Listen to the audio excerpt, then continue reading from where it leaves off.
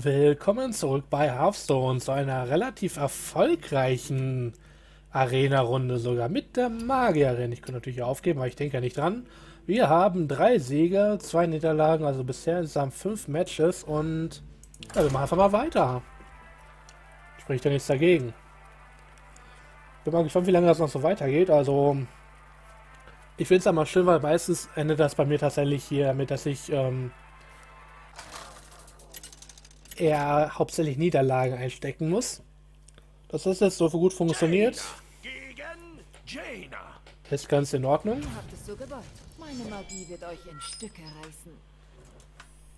Wir sind zuerst dran, nicht unbedingt immer die beste Ausgangsposition. Ihre Raketenschützen ist zwar gut, aber ist so hoch, wir lassen das erstmal. Ein paar Karten mehr ziehen ist auch in Ordnung. Der ist ganz in Ordnung, vielleicht können wir ihn sogar hiermit verwenden. Wäre ein bisschen schwachsinnig, aber seit wir jetzt dann noch ein vierer Spott. Und Spott ist meiner Meinung nach auch das, was einem am meisten den Hintern rettet. Habe ich das zumindest als Gefühl. Er ja, hat eine Karte mehr, da muss natürlich hier Banana Nana. Banana. Hm. Komisch. Ihr könnt nicht vorbei. Banana.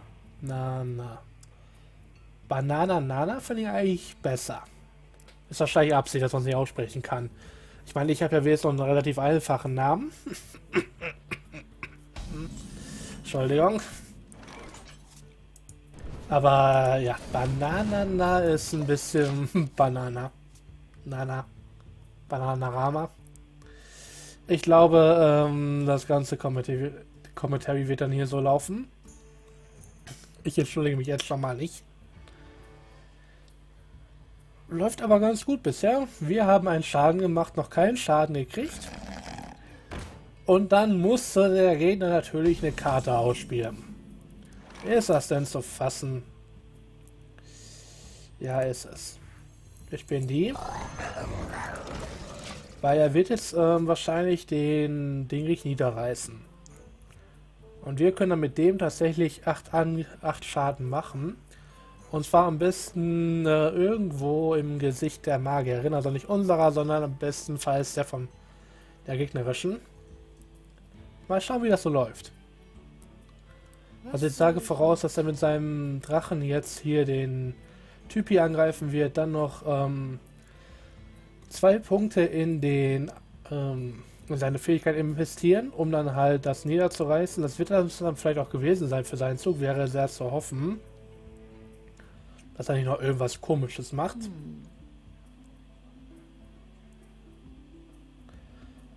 Ich würde den Worgen am liebsten sogar dann zurückziehen und dann halt nochmal neu einsetzen im vierten Zug, aber ich glaube, obwohl das ist dafür jetzt so, ich meine im fünften, aber ich glaube, es wird sich nicht ergeben. Da werde ich stattdessen statt, äh, wohl lieber noch ein paar Karten ziehen. Ja, mach das Einfachste. Genau. Sage ich doch, hau mein Schild weg. Danke. Soll ich vielleicht auch mal sagen, aber... Guck, guck. Acht Schaden incoming. Hm, ich könnte jetzt natürlich mit einer Eislanze den Charakter einfrieren. Ach, scheiße, stimmt ja. Pech gehabt. Jetzt natürlich klar, wer den See angreifen wird, aber ich meine, ich habe schon mal neuen Schaden gemacht, keinen Schaden kassiert. Oder das mit einem relativ kleinen Aufwand an Karten. Leider der ist auch ein bisschen Kartenüberhand. Was nicht wirklich ein Problem ist bei dem, was ich habe, damit komme ich schon gut klar. Was soll ich nur tun? Ich meine, wenn er es, äh, wenn er sich entscheidet, mit dem Ding direkt anzugreifen, kann ich den Worgen nochmal zurückziehen. Mit dem Baumeister. Hm.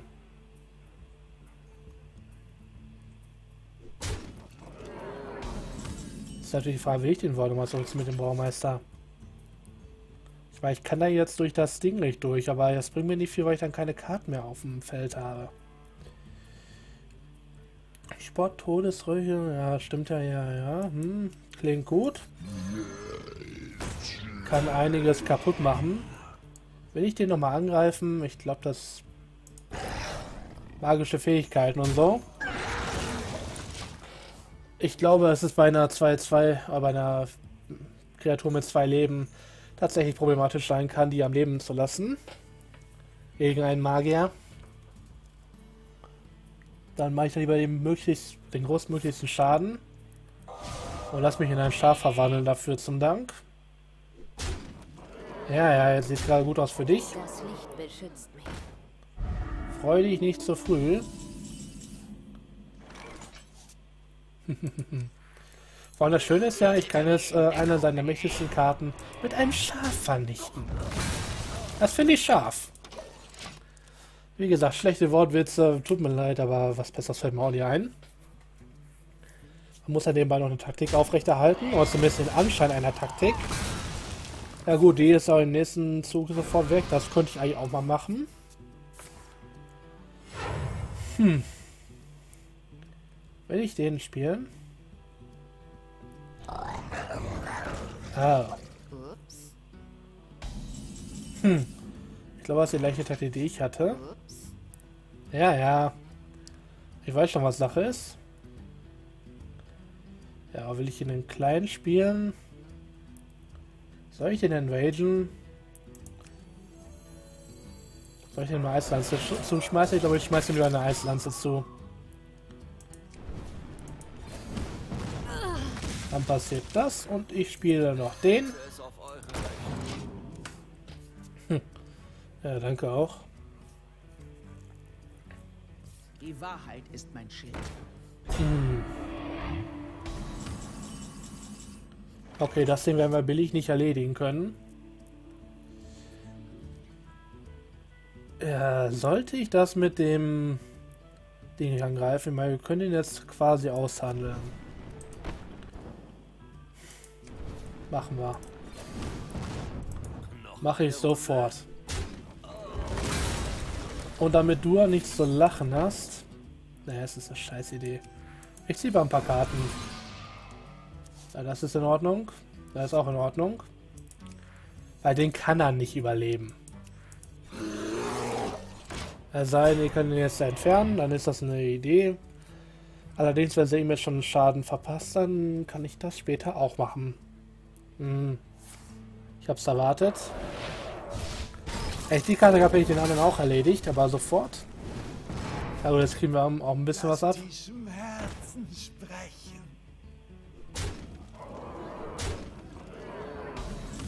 Ja, es war zu erwarten. Dem zum Schweigen zu bringen, was wird mir das bringen? Ich glaube so einiges. So, wir machen das mal.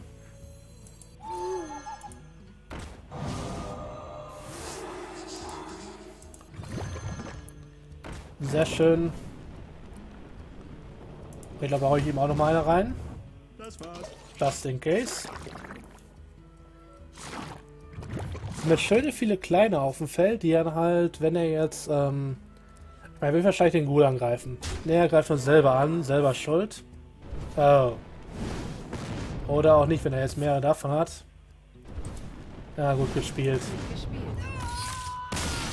Äh, sonst hätte ich jetzt nämlich tatsächlich auch meinen Ghoul richtig hoch äh, buffen können, hier den links. Aber das können wir ja vergessen. Ja gut, dann wird das eine sehr, sehr kurze Folge. Ja, ganz, ganz kurz, aber wir haben was gewonnen. Ich hoffe mal auf meiner Staub, weil das ist das, was ich momentan am meisten brauche, auf Arkanstaub. Wahrscheinlich habe ich es jetzt schon vergleicht, habe ich, dass ich jetzt halt, ähm, was gesagt habe. Nur drei Kisten. Ein Deck ist Standard, das ist gut. Immerhin sind es schon mal 100 Goldstücke. 135, also es hat sich an sich schon fast gelohnt. Dämonenfeuer. Ich hätte lieber ordentlich Arkan-Staub gehabt, aber wir gucken mal. Was in dem Ding nicht drin ist. Ich muss die Folge jetzt ein bisschen ziehen, damit es halt nur 5 Minuten sind oder so. Okay, machen wir jetzt mal die Karte auf. Dann zeig mal, was du hast. Fünf Karten. Ausweiten. Verursacht Schaden, Kombo. Äh, zwei Schaden verursacht stattdessen vier Schaden. Kultmeisterin haben wir, glaube ich. Das ist eigentlich eine sehr schöne Karte. Segen der Weisheit haben wir auf alle Fälle. Vielleicht können wir das dann halt vernichten. Beschwörungsportal Hexenmeister. Das ist eine coole Karte. Ich spiele nur Hexenmeister nicht allzu oft. Ich habe übrigens mal angefangen, wirklich alle Karten, die ich nicht brauchte für meine Decks, also zumindest fast alle, zu vernichten. Oh, das ist gut. Das ist gut, das ist sehr gut, das kann ich äh, gebrauchen für die meisten meiner Decks. Also das bleibt am Leben. Bei anderen Karten muss ich mal gucken. Vor allem, was dreifach ist. Wir gehen mal in meine Sammlung. Gehen mal in den Herstellermodus. Da gab es doch irgendwann mal hier... Ähm können wir ja nicht mal irgendwie alles zerlegen, was wir nicht brauchen. Da gehen wir auf Fertig. Vielleicht versteht das ja was. Ähm, ne, da müssen wir schon gucken, was wir hier dreifach haben. Das ist aber eine Scheiße. Ach, wir sind gar nicht im Herstellmodus. Ja, danke. Ähm... Wie kann ich denn jetzt Milch schnell ähm, vernichten? Hallo? Ich sag, man könnte hier nur das Ding ausschalten, aber ist mal wieder aus dem Herstellmodus raus. Was auch hier oben geht, deswegen habe ich das gar nicht verstanden. Da gab es doch mal sowas, wo man auch ähm, Karten, die dreifach drin sind, ähm, zerlegen konnte. Wir gucken einfach mal durch. Dass ihr das auch mal seht. Ähm, ja gut, hier sind jetzt offensichtlich Sachen drin, die wir auch behalten sollten. Vor allem diese Fallen sollte ich mal mit Jäger anfangen, was nicht ausgeschlossen ist, weil ich mittlerweile relativ viele Klassen spiele. Oder es zumindest versuche, ich bin halt bei den meisten ja nur nicht allzu gut drin. Aasfressende Hyäne wird auf keinen Fall vernichtet. Das ist auch eine gute Karte. Adlerbogen ist auch eine gute Karte, die übrigens in letzter Zeit relativ oft gebufft oder debufft wurde. Da waren sie wohl ein bisschen was am Pfeil einstellen. Bei den Karten muss man auch Guardias nachgucken. Die bleiben alle drin.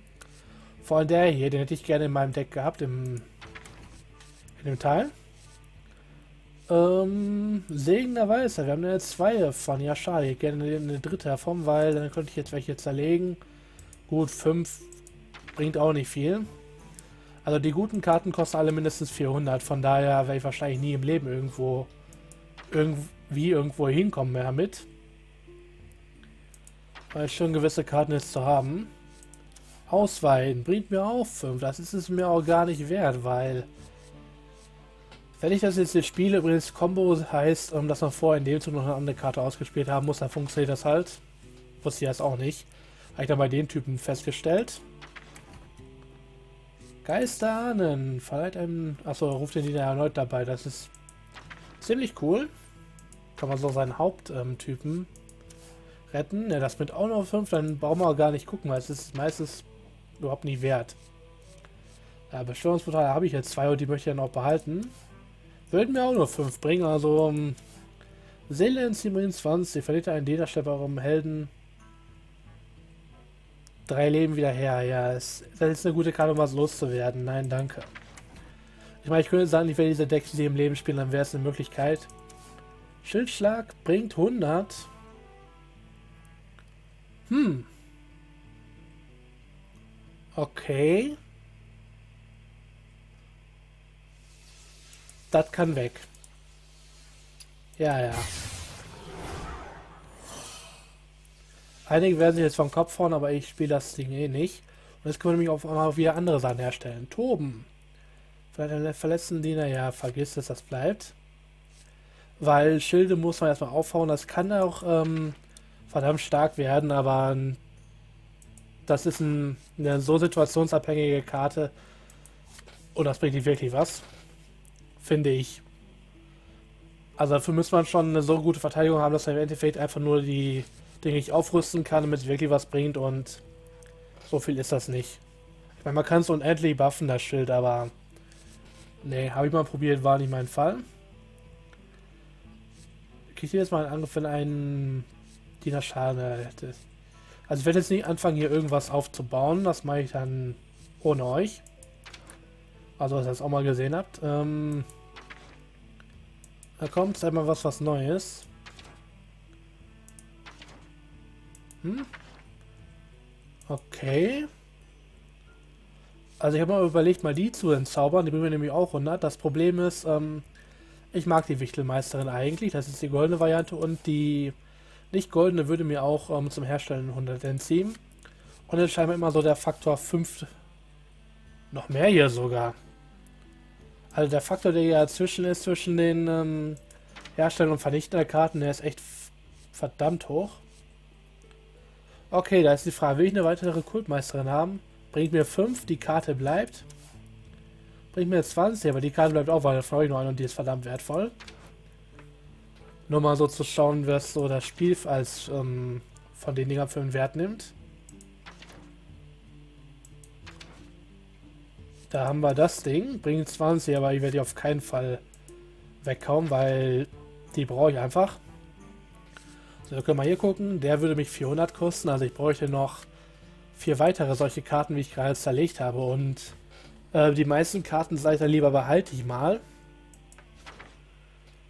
Und wo ist jetzt Hogger? Es würde mich mal interessieren, was der so kostet. 1600, ich habe es befürchtet. Also ich glaube, Hogger werde ich nur kriegen, wenn ich ihn in einem Deck kriege. Die Wahrscheinlichkeit davon ist unglaublich gering, aber sie ist vorhanden.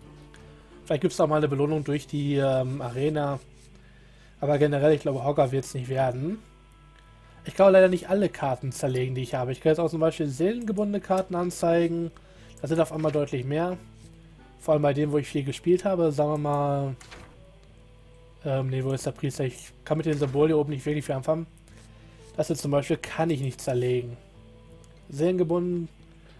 Die Karten können weder hergestellt noch entzaubert werden. Also das könnte ich hier so einiges aussortieren, weil ich brauche hiervon bei weitem nicht alle. Ich brauche die nicht alle. Ich brauche hiervon auch keine vier Stück. Und sonstige Sachen. Ja, aber ich denke mal, soll es dann auch gewesen sein. Hier, wir könnten eigentlich nochmal ein normales Match machen. Vielleicht sogar mal ein gewertetes.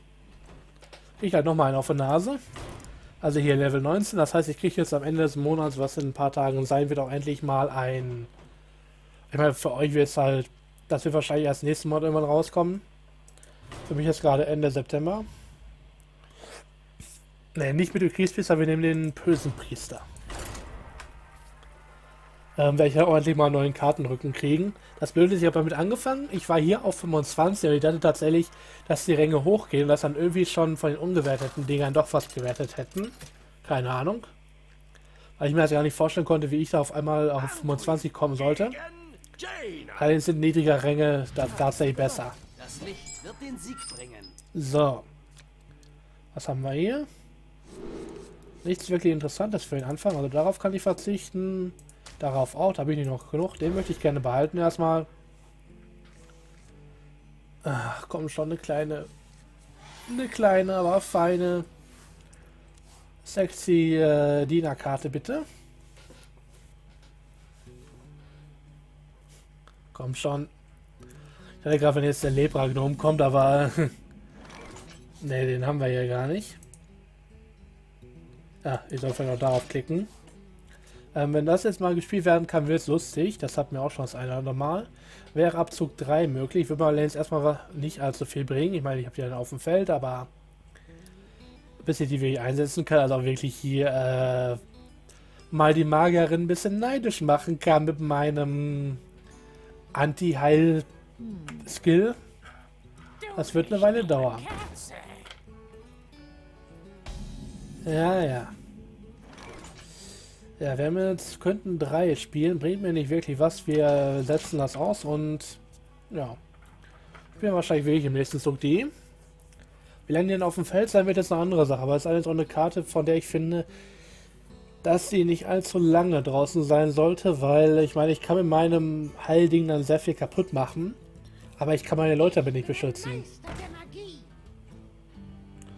Und du klingst, als hätte man dir die ähm,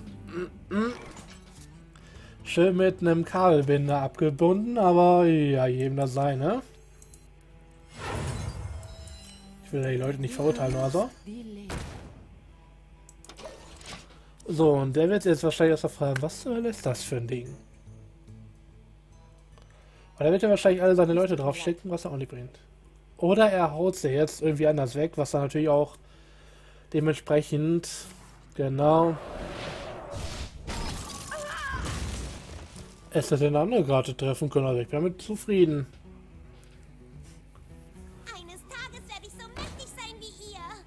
Aber wie gesagt, das ist eine Karte, die man sieht man eigentlich relativ oft und äh, man hat sie jetzt auch nur relativ kurz gesehen, aber ja. Holy Nova kann ich auch nicht. Ich kann mich jetzt gerade mal selber heilen. Was ist denn heute los mit dem Deck? Sind die Diener woanders in der Kneipe unterwegs und saufen sich ein? Oder wie soll ich mir das erklären, dass hier auf einmal nur Zauberkarten drauf sind? Ich meine, ich habe sehr viele da drin, das ist schon klar.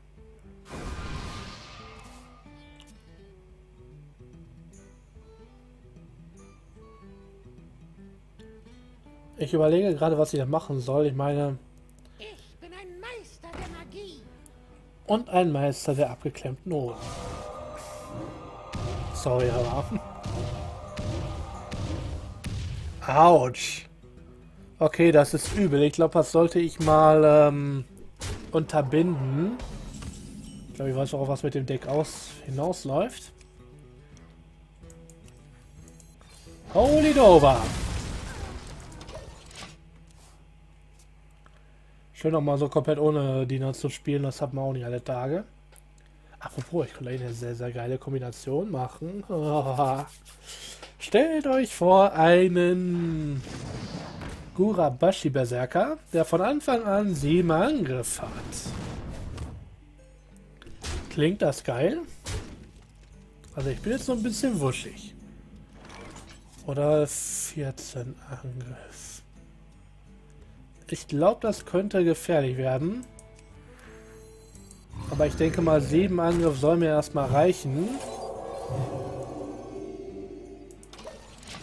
Ähm, weil nämlich, ich kann das auch noch nachträglich verdoppeln und der hat eh einen Buff drin. Das nächste, was er kriegen würde, wäre 10. Das wäre auch vollkommen in Ordnung. Und ich könnte auch hier mein Leben wieder heilen, das ist auch in Ordnung. Wahrscheinlich wird es jetzt aber eh removen. Drei Schaden. Oh, das tut aber weh. Hm.